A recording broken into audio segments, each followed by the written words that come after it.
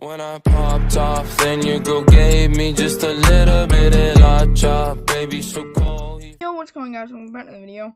All I wanted to say was, can you, can you, I'm gonna put the IP in the description. Can you please, maybe sometime, join the server, maybe help me, maybe help me help it. Um, you guys can read, um,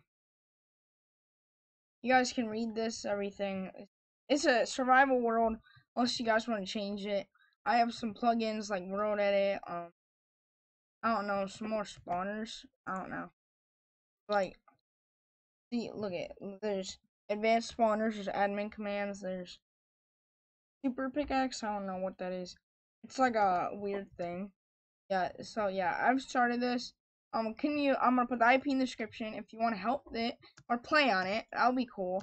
Um, if you could, that'll be amazing. Um, just a normal survival world. If you guys really want to fix it, please come on. Um, this is a temporary world. You guys aren't gonna have creative, obviously. I am because I have an op, obviously. Um, and here's the shortage. Um, this is my mob farm. And come over here and stuff. And that's not really for survival. That's for this. But yeah, I'll probably lock this until you guys can obviously use it. So I'll let you guys use this, but I'll probably lock up this. Like I don't know. I put might put bedrock on this so you guys can't get in here. it's kind of sad. Yeah, because you guys probably won't be able to. I'm a good person. I would I would unlock that, but you guys have to wait. So can you please, guys, please join this IP world server? Um, it's on like a thing called